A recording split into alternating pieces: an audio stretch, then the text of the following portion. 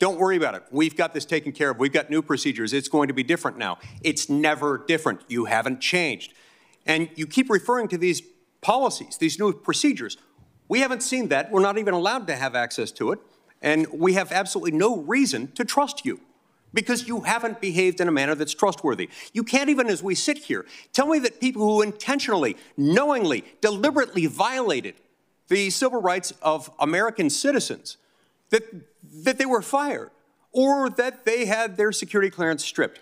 Now, in 2022, FBI and other agencies searched Americans' communications over 200,000 times, only 16 of which were evidence of a crime only searches that returned information. I'd like to ask you to, to give a, a yes or a no uh, answer to these questions.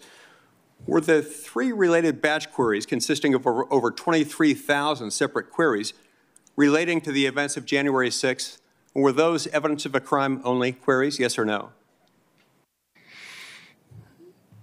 Uh, I don't know the answer to that. The What answer, I is, can't- what- the answer is no. I, I I- do know the answer. The answer what- is no. Were the what I- queries for the activists arrested in connection with the uh, George Floyd protests uh, here in Washington, D.C., evidence of a crime only queries?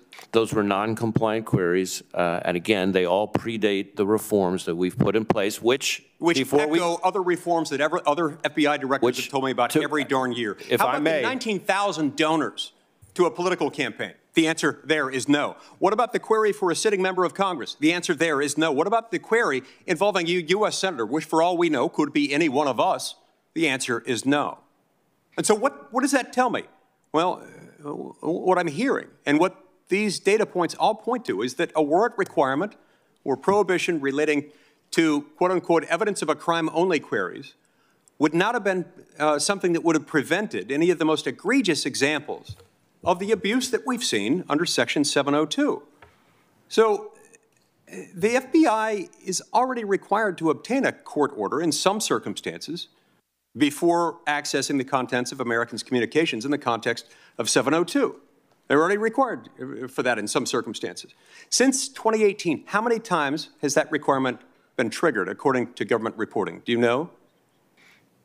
You're talking about the so-called F2? Yes. Yeah. Uh, How many times has it been triggered? Yes. I think it, I think there've been two instances where, I think is maybe the number. 100, Uh, 103. 103 times it's Yeah. been triggered. And out of those 103 identified times, uh, the FBI should have obtained a court order. How many times did the FBI actually obtain one? Do you know? That, I think the answer is none. Zero. So you're telling me that the FBI has completely ignored the limited court order requirement that it's already subjected to. You have the audacity to come here and you told us that getting uh, adding a warrant requirement to 702 even for queries involving US persons on US soil that that would amount to some sort of unilateral disarmament. That you have a lot of gall, sir. This is disgraceful. The 4th Amendment requires more than that and you know it. I know every single time for centuries, even prior to the founding of this country, there were similar protections built into the laws of the United Kingdom before we became a country. Even then, the government was making the same darn argument you're making today, which is it's too hard. This would make it hard for the government. It's why we have a constitution, sir, and you must comply with it. Mr. Chairman, may I respond briefly? When you ask why are things different this time, I would point you again to the findings of the court and the department themselves, both of which have not been shy about identifying some of the same instances that you cited in our colloquy.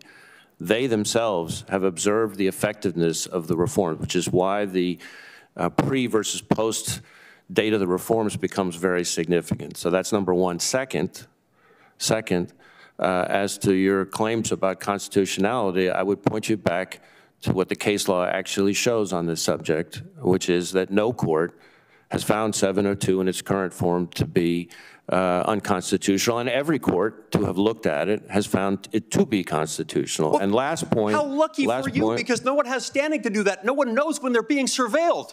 Yeah, th- that is not an argument, Last, sir. last point, Mr. Chairman, uh, is that in some of the instances, and you went through a number in your uh, questions, in some of the instances in particular that I know about, uh, those are instances where the queries were run in order to get to a public official, member of Congress, to warn them about foreign influences targeting Yes, them. And a warrant would not have enabled that. We call those consent searches.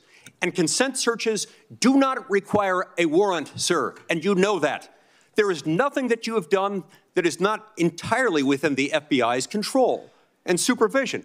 You're asking me to believe something that is not believable because your, your agency has made it unbelievable, and I refuse to accept it.